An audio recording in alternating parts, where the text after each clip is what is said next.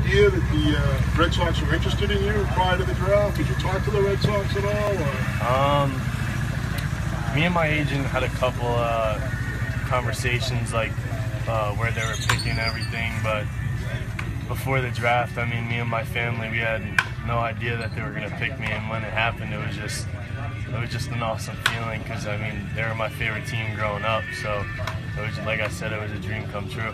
You're a New Jersey guy, and the Red Sox are your favorite team, not a Yankees, Mets, sir. Phillies. Nope, always a Red Sox fan. Me and my father.